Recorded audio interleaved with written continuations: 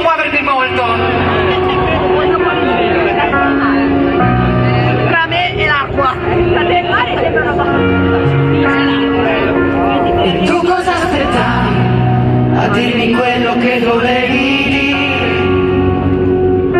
A non rischiare niente, non vai all'inferno neanche se